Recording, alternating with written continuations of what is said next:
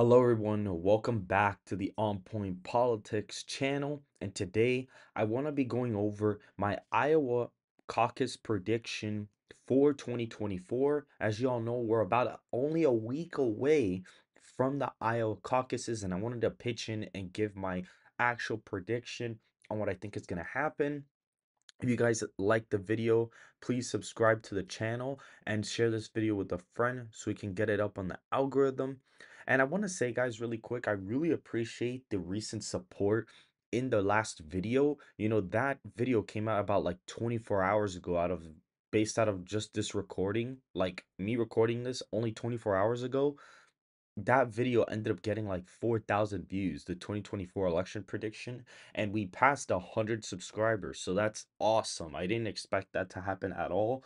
So that was really, really cool. Please keep that momentum up. I'm going to be posting one video a day just to keep the momentum up and get this community growing.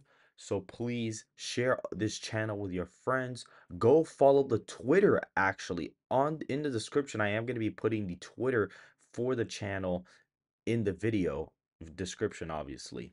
And so, without further ado, here we go. So, as you know, Donald Trump, Nikki Haley, Vivek, Ron DeSantis, and Chris Christie are the top competitors for the 2024 Republican primary. If we look at the 538 average, Trump has a pretty substantial lead in Iowa. If you look at the RCP average, he has a pretty substantial lead here. He has about a 32 point lead in Iowa, with Haley actually nearly catching up to DeSantis at this point, and DeSantis is actually kind of falling off here last minute. If you look at the 2016 results, Trump's raw total vote share was about 45,000 votes, and Ted Cruz was about 51. Now, do I think he's going to reach this?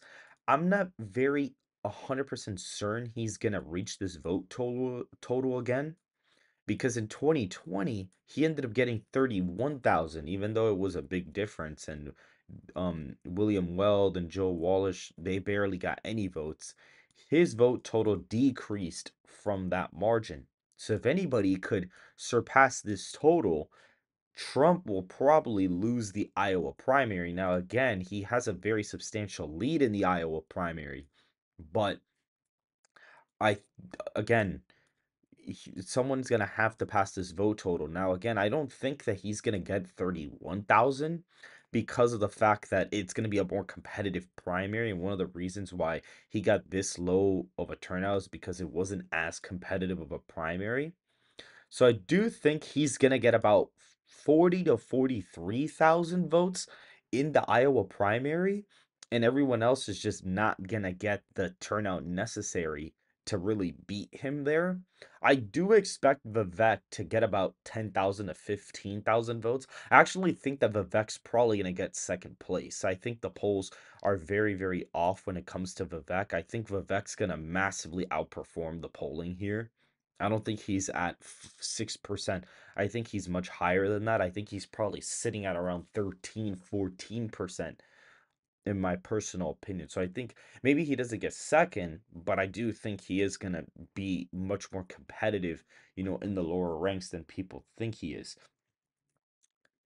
And so now, based out of all these metrics, you know, from 2016, from 2020, from the polls in 2024, I'm going to suspect, you know, Trump probably gets about, let's say he hits about 42%.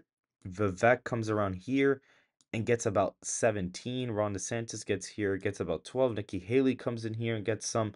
And Chris Christie gets just like 5%, or maybe a little bit more than that. Maybe Nikki Haley's higher.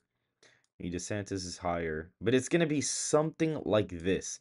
This is what I'm thinking the map is probably going to end up being. And maybe Trump gets about 47%. So this is what I'm kind of looking at for the primary right now in my personal opinion, for Iowa. If you guys have any, you know, rebuttals or if you agree with this prediction, comment down below. This is it for this one. I just wanted to do a brief overview of Iowa really quick. Now, one last thing, it is actually coming out. There are reports saying that if DeSantis loses the Iowa primary, which is basically almost certain, that he's going to drop out of the primary the night of or the next morning. He'll announce that he's not in the primary and maybe endorse Donald Trump. So that would help Trump quite a bit in the primary if DeSantis drops out right after Iowa. That would be pretty that would that would actually help Trump out a lot. At that point, the primary wouldn't even really be competitive anymore. But if you guys liked the video, please like the video, subscribe to the channel, and share this video with a friend so we can get this out on the algorithm. I'm going to be doing a video every single day covering political content, updates, and things of that nature in order to keep you guys updated and give you guys the most valuable information when it comes to politics in the United States for 2024. All right, guys, have a good day.